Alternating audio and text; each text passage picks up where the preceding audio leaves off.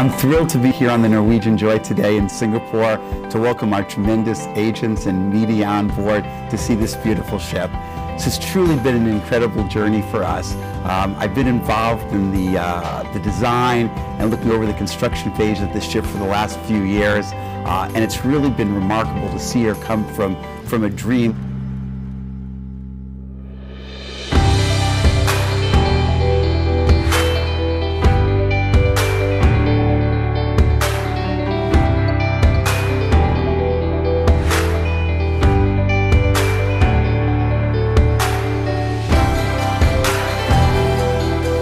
The ship is excellent in targeting people of different generations. Whether you are a kid, whether you are an adult, couples, or the elderly, you will find something you like on the ship. It's the best combination of East and West. So I will highly recommend the ship to everyone who wants to have an excellent time.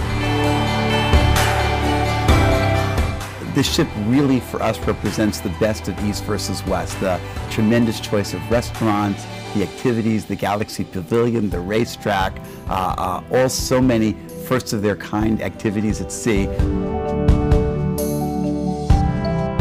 This is a fantastic step forward for the cruise industry as this region begins to uh, grow uh, at a fast rate. We're very proud that Norwegian Joy uh, is the uh, flag bearer for this new generation of ships and we look forward to having her in her new home in Shanghai very soon.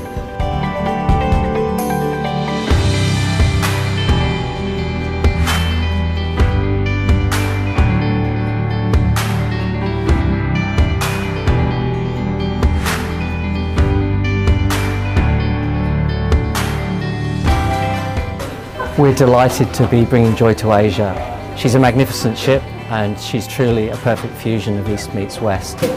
She's carrying on our incredible 50-year legacy of innovation in cruising and she's a truly incredible ship for Asia.